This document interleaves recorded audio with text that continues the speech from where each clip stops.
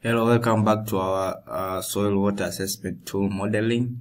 And last time we saw how to create HRUs, uh, but today we'll see how to edit inputs and run SWAT model. So let's go ahead and uh, start our today's session. So go ahead and click edit inputs and run SWAT. When you click that, SWAT editor will load and here is where you import the file containing your project so go ahead and open and start import.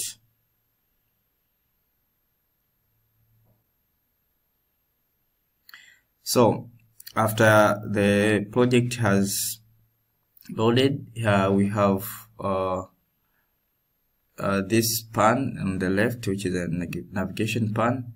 So here you can see it's a project setup. Here is edit SWAT inputs. Here it's uh, light up inputs and here it's where you run your model Here's where the model is analyzed uh, uh, depending on the output after running the model. So go ahead and uh, edit SWAT inputs. So after clicking edit SWAT inputs, here you will have uh, a navigation pan added in your left. Here you'll see there is climate uh, section and here there is simulation section. So today we'll see these sections, climate and simulation. So let's start with uh, climate section where we'll uh, load our weather generated data and our weather stations. Okay, let's start with weather generated data. To uh, import weather generated data, uh, click here. Then here it's where you import your data. Uh, if you didn't uh, download the data in the installation process, uh, you can go ahead and download it from this link. So now we are going to import the data. Uh, okay, here uh, first I, I, I, imported some data, so it will ask me either to delete the existing stations uh, and leave them unchecked, or and there is another checking button here. Make sure to check it using the observe uh, weather data. This will prevent the model from uh, creating the stations uh, according to the weather generated data. So go ahead and start import.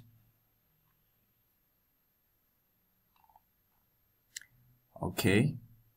After it has uh, already imported, go ahead to the weather stations. So if you have the weather data, uh, you go ahead and import here but if you're missing the weather data for your location uh, CFRS provides the weather data for the whole world so you can go ahead and follow the link and download your data.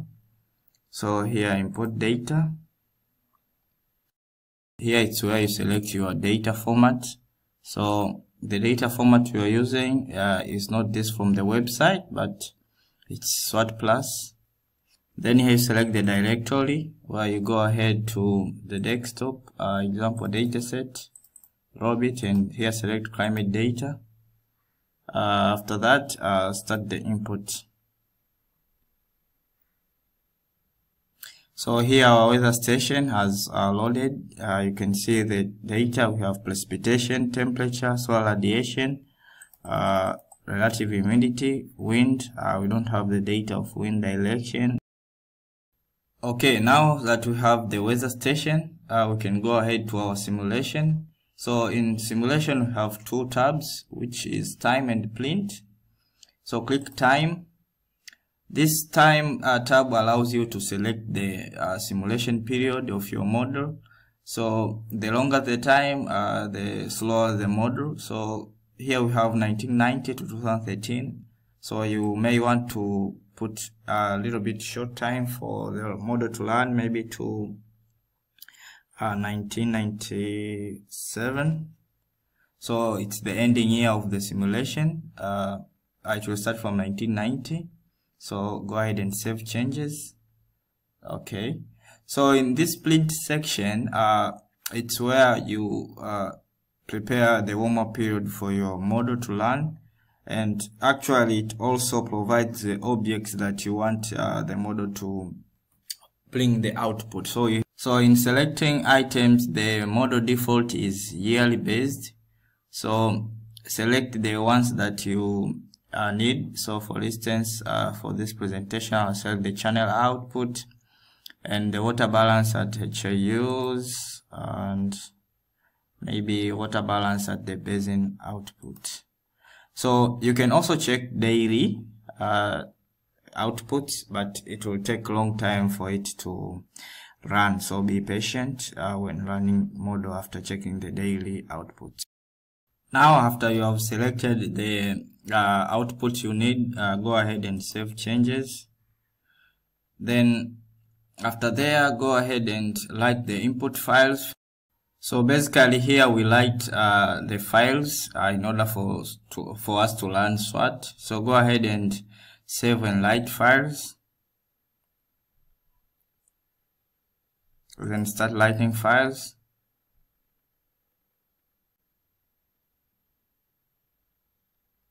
So after we have written the files uh, now we are going to run our model so go ahead. So here we have uh, a debug version. So if you select this uh, maybe you have a problem in learning your model so you can select this. Actually it's going to take a long time. So I just advise let us just learn uh, SWAT model so go ahead and click SWAT and SWAT so the model will start uh, running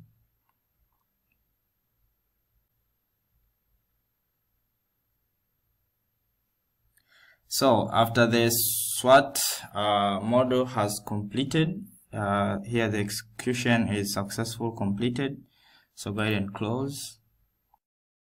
So the next step is to analyze the model output. So basically here it's where you import your output text files uh, into the database so that you can visualize them uh, in the QSWAT plugin.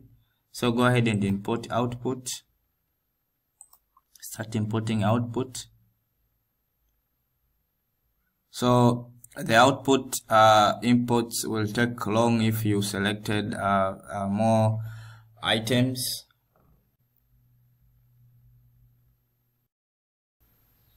So after we have successfully imported the uh, the output here we'll have uh, a tab showing exist SWAT uh, plus editor. So go ahead and check this.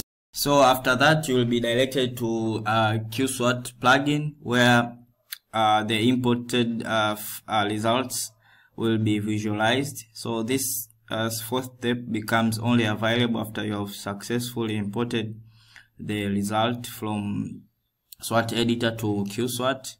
So in order to visualize your result, click visualize. So as you can see, the map uh, has uh, changed a bit. So uh, normally uh, in the visualization of the result there is different scenarios. So by default uh, the SWAT plus uh, allows you to choose the SWAT plus output tables. Actually these tables are the ones that uh, you selected in uh, the print layout. So make sure you check only those that you intended to use in in your model so the ones we selected are the ones that are going to be uh, visualized. Here we have the start date and finish date of our visualization. And here below we have our static data or static maps that will be displayed according to your result. Here it's where you will be allowed to show animation uh, in the flow of the time scale that you uh, provide in the visualization and here it's where you will plot uh, tables uh, to show the data uh, in the visualization. So let's go ahead and choose uh, what we want to display or visualize in our results. So in order to start visualizing our result you should choose the output table. So we'll start by selecting the channel uh, water balance or incoming outgoing sediments and nutrients as well as storage. So select that. Here you'll have the static data or the map uh, and here you will be able to create the animation. So in order to do all this first you need to choose the variable. So here you will choose the variable. So in case let me just select flow out. So go ahead and find flow out here it is. So create flow out then add then you should select it and create. Click yes. So uh, try minimizing this bar. So you can see the flow out uh, has been created as the static map here. So let's try to visualize the animation also so here go to animation. Uh, select the variable that is flow out. Flow out. Then here you can uh, play. Uh, as you play you can view the simulation. So this is uh, the monthly data so you can try speeding it up a bit. So as you can see the uh, liver channels filling up at the uh, rainy season and drying out at the dry season. Uh, also you can record this. So you can record this by clicking here start recording. So you can pull it out and uh, the speed almost 3 and start recording and play. So you can see the uh, monthly data of the channel filling out uh, on the dry season and filling in in the uh, rainy season. So you can also stop it and if you stop it it will be saved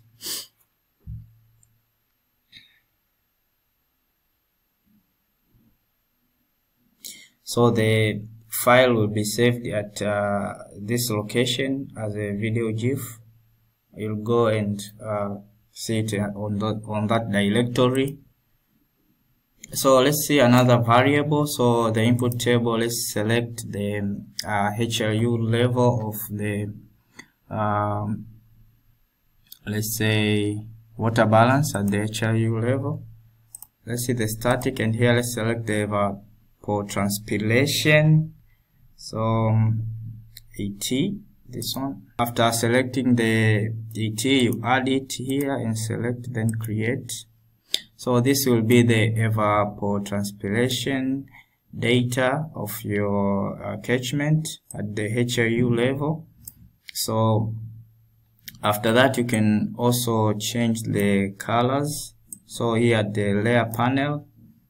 Uh, okay here the layer panel you can see the results. So this is the uh, evapotranspiration so just double click that and select the colors you want. Maybe this one then apply. Okay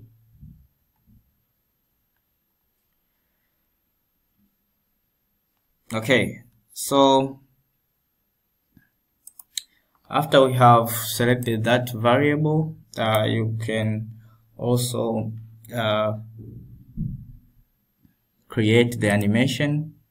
Uh, okay so for creating animation also you can choose the variable which is et and after choosing the et you can play. So the evapotranspiration changes as uh, the time uh, goes this is yearly so you can try like putting a little bit low I mean speed. So uh, go ahead and play. So this is the yearly data.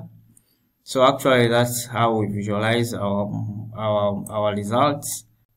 Now that we have seen the static data and animation uh, let's see the plot option here is where you plot the visualize the results so go ahead and check the variable uh, the SWAT output table first, which is the channel. Then after that, choose the uh, variable, which is uh, flow out. then select the number of channel that is uh, where the outflow is so actually it will be here in the lower length. So here you see the channel. So just select that in order to know the uh, which channel is. This so check the identification tool and you see it's channel 53 so after that uh, go back and here it's where you select the number uh, there are almost uh, 91 channels so select the number 53 after that you add to plot then you plot the results. So here it's where you save. So actually I'll save the output.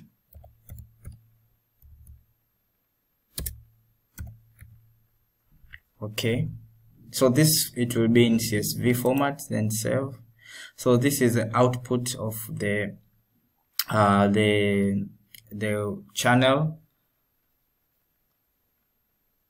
in their years. So here we have 1991 1992 93 94 95 to 1998 so this is december 1997 so it will range until 1998 also you can add the observed data that you have taken in the field or after surveying the flow uh, in the in the channel so that you can compare the simulated flow and the observed flow.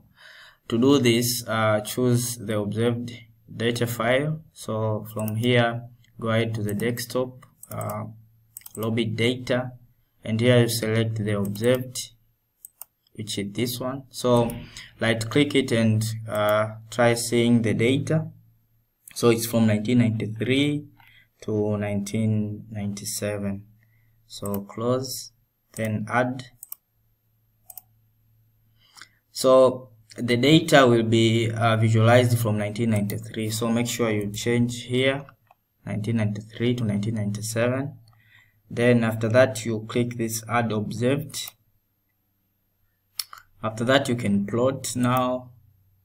So let's save this file as a compare comparison file. Save. So the graph will be uh, of the data that uh, after simulation of the model and the observed data also you can save this uh, charts from this option here. So you can save it maybe at the desktop and that image save.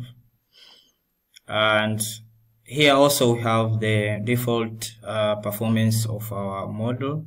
So the Pearson co co correlation coefficient is 0.76 thank you for listening and we have reached on our final day of presentation on soil water assessment tool uh, there are a lot of steps which are very important like preparation of data and how to calibrate the model so that it can work and uh, be more specific on your uh, watersheds or any project that you are working on. So you can email us or leave a comment and we'll be glad to help